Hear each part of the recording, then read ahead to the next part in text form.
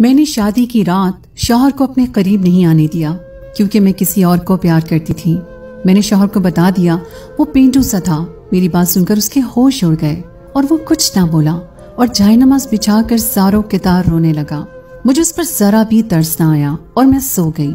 एक दिन उसने मेरे हाथ में कुछ कागजात थमा दिए और कहा, इसको सुबह खोलना। सुबह जब उठी तो वो कागजात देखे तो मेरी जान निकल गई, मेरी चीखें निकल गई, क्योंकि उसमें अपनी शादी होते ही मैं गाँव में दस घंटे बस का सफ़र करके पहुँची थी। दुल्हन बने रुखसत होते ही मुझे बस का सफ़र करना पड़ा। पूरा सफ़र मैंने खामोशी से किया था। गाँव में अपने ससुराली घर पहुंचकर मुझे मेरे कमरे में बिठा दिया गया। मैं एक पढ़ी लिखी बीए पास लड़की थी और मेरे वालिदैन ने मेरी मर्ज़ी के खिलाफ मेरी शादी एक गाँव के किसान से कर दी। मैं अपनी किस्मत पर फूट फूट कर ना रोती तो और क्या करती? मेरे दिल में कोई उमंग नहीं थी। बस अफसोस था, तकलीफ़ थी, आँसू थे, गम था। जब मेरा शोहर गुलाम मोहम्मद मेरे कमरे में आया तो मेरे चेहरे पर हद दर्जा नागवारी सी छा गई थी। मैंने उस पर एक उचटती नज़र डालकर हटा दी। सफ़ेद शलवार कमीज पहने उस पर बड़ी बड़ी मूछे, बिल्कुल पेंडू सा लग रहा था। मुस्कुराने से उसकी बत्तीसी पूरी नज़र आ रही थी। मेरे पास आकर बैठ गया। कुछ देर मुझे बड़ी महवियत से देखने लगा। मुझे उसका यूँ देखना भी बुरा सा लग रहा था। वो मुझे एक आँख नहीं भा रहा था। मुझसे कहने लगा, मैं बहुत खुश नसीब हूँ जो मुझे तुम जैसी प्यारी और पढ़ी लिखी बीवी मिली है। मैंने उसकी बात सुनकर एक तीखी नज़र उस पर डाली और कहा, और मैं बहुत बदकिस्मत हूँ जो मुझे एक जाहिल गवार और पेंडू शहर मिला है। मेरी बात सुनकर उसके चेहरे की रंगत बदल गई थी। कुछ वो था भी जरा सा सांवला, उसके आगे की दो दांत भी जरा से बाहर को दिखाई देते थे। वो शायद मुझसे इस किस्म की खरी बात की तो नहीं रखता था। मेरे अंदर तो पहले से जहर सा भरा हुआ था। मेरे माँ बाप ने मेरे लाख मना करने पर भी मेरे खालाजाद से मेरी शादी कर दी, जो गाँव में किसान था।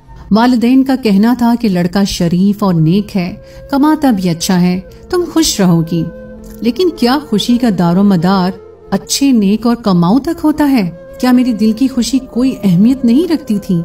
मेरे अंदर मनफी सोचों का यलगार सब भरा पड़ा था। ऐसी जलन थी मेरे अंदर कि मेरा लहजा मेरे लफ्ज मेरे इख्तियार में नहीं थे। मेरा जी चाह रहा था गुलाम मोहम्मद पर अपने अंदर की सारी भड़ास निकाल दूँ। मेरी बात सुनकर वो मुझे हैरत से तके जा रहा था।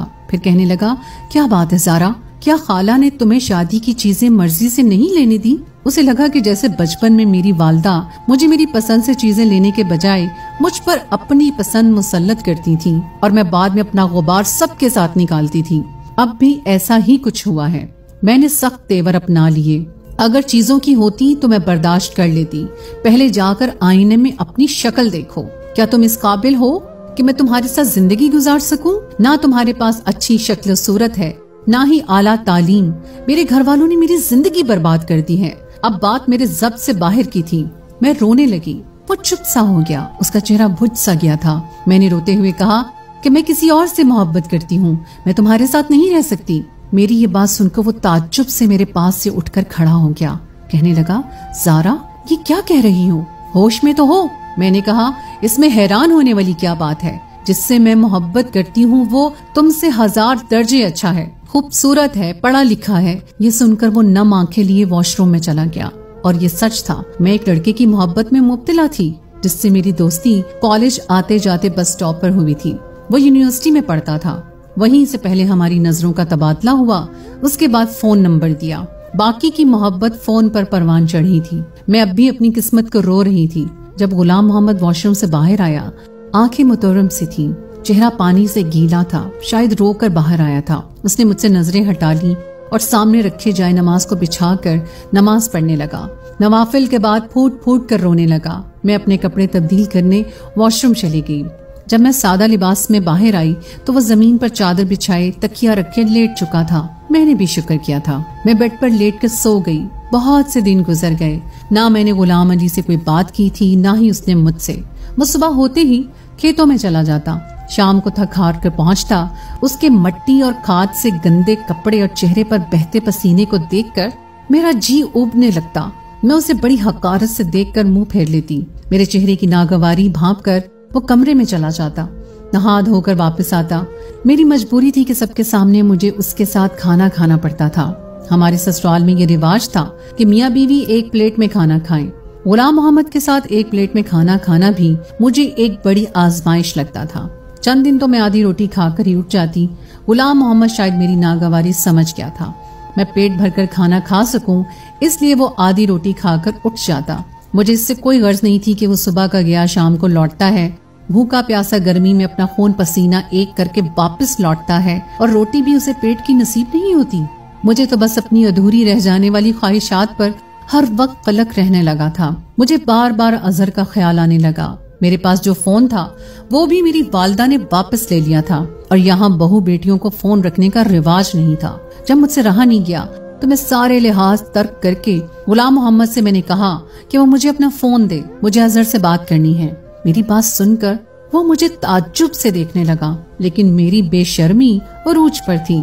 मैंने उसके हाथ से फ़ोन छीनकर अजहर का नंबर मिलाया और बातचीत शुरू कर दी। अजहर भी मेरी वजह से बेहद परेशान था।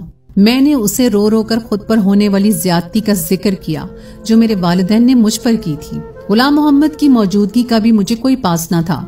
वो खामोशी से चादर ज़मीन पर बिछाए लेट गया। मैं काफ़ी देर अजहर से बात करती रही। फिर तो मैंने तमाशा ही पकड़ लिया। रोज मैं गुलाम मोहम्मद से फ़ोन लेती और अजहर से बातें करती। अजहर मुझे अब भी अपनाने को तैयार था। एक बार फ़ोन के सिग्नल बार बार ड्रॉप हो रहे थे। गुलाम मोहम्मद सो चुका था। मैं कमरे से निकलकर सहन में आ गई ताकि मैं अजहर से बात कर सकूँ। सहन में हमारे घर कोई नहीं सोता था। सब अपने कमरे में ही थे। मैं सहन में खड़ी होकर अजहर से बात करने लगी, लेकिन यकदम मुझसे किसी ने फ़ोन छीन लिया। मैंने बरजस्ता देखा तो मेरा देवर मुझे गुस्से से देख रहा था। कहने लगा, बेशरम औरत, तुमने क्या गैरत बेच खाई है? शोहर के होते हुए यार पाल रखे हैं। न जाने वो कब से मेरी बातें सुन रहा था। वो जिस कदर बुलंद लहजे में बोल रहा था, आहिस्ता आहिस्ता सब लोग सहन में जमा हो चुके थे। गुलाम मोहम्मद भी आँखें मलता हुआ सहन में आ गया। क्या बात है, तुमने क्या शोर मचा रखा है? गुलाम मोहम्मद ने मेरे देवर को सख्त लहजे में कहा। मेरे देवर ने सबके सामने मेरी पोल खोल दी। सभी मुझे देखकर हैरान थे। मुझे लगा, अब तो मुझे घर से निकाल ही देंगे। अच्छा है, मैं वापस अपने घर लौट जाऊँगी और फिर अजहर से शादी कर लूँगी। लेकिन गुलाम मोहम्मद ने सबके सामने मेरे देवर को झूठा कर दिया। कहने लगा, मुझे अपनी बीवी के किरदार पर भरोसा है। वो अपनी किसी सहेली से बात करती है और मेरी इजाज़त से करती है।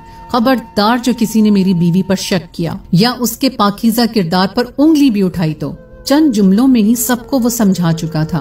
बात वहीं खत्म हो गई, लेकिन मुझे इस पर और भी गुस्सा आने लगा। मैं कमरे में आकर उससे झगड़ने लगी। मैंने कहा, तुम होते कौन हो मेरे बारे में ये कहने वाले? अच्छा खासा मेरा रास्ता साफ़ हो रहा था। तुम अपने भाई की बात पर एतबार करके मुझ पर इल्ज़ाम लगाकर मुझे निकाल सकते थे। तुम जानते हो कि मैं किससे बात करती हूँ? मैं यहाँ से वापस चली जाती। मेरे माँ बाप को मजबूरन मेरी शादी अजहर से करवानी पड़ती। लेकिन तुम्हारी इन बातों ने मेरी राहें बंद कर दी। तुम मेरा पीछा छोड़ क्यों नहीं देते? मेरी बात उसने खामोशी से सुनी। मैं गुस्से से उसे कह रही थी। वो कहने लगा कि अगर तुम मेरे साथ नहीं रहना चाहती, तब भी मैं तुम्हारे किरदार पर गलत बात बर्दाश्त नहीं कर सकता। तुम्हारी और तुम्हारे माँ बाप की इज़्ज़त मेरी इज़्ज़त है। मैं सारे इल्ज़ाम खुद पर लेकर तुम्हें छोड़ दूँगा। ताकि तुम पर कोई उंगली न उठा सके। दो तीन दिन में तुम्हें खुद शहर लेकर जाऊँगा। अगर वो लड़का तुम्हें इज़्ज़त से अपनाने को तैयार है, मैं खुद पर इल्ज़ाम लेकर तुम्हें खाला के घर छोड़ दूँगा और बाद में तलाक भी भिजवा दूँगा। गुलाम मोहम्मद की बात सुनकर पहली बार मैं लाजवाब हुई थी। वो कम तालीम याफ्ता था, अनपढ़ था, बिल्कुल अंगूठा छाप था, लेकिन इज़्ज़त, गैरत का मतलब अच्छी तरह से जानता था। न जाने क्यों मेरे दिल में उसके लिए जज्बात कुछ बदलने लगे थे, लेकिन मैंने अपने आप को झटका और अजहर को सारी बात बता दी। वो तो सुनकर खुश हो गया, कहने लगा, तुम शहर में आ जाओ और अपने कज़न से तलाक ले लो। हम पहले कोर्ट मैरिज करेंगे, तुम मेरे पास ही रहना। बाद में तुम्हारे माँ बाप हमें अपनाने के लिए मजबूर हो जाएँगे। मैंने हामी भर ली। चंद दिन बाद ही मैं गुलाम मोहम्मद के साथ चली गई। अजहर के बताए हुए पते पर पहुंचकर मैंने गुलाम मोहम्मद से कहा कि, अब तुम जाओ, मुझे तलाक भी दे दो। उसके बाद तुम्हारा मुझसे कोई वास्ता नहीं।